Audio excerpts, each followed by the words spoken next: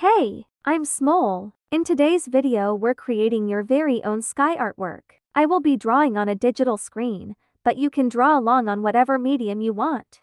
Let's draw.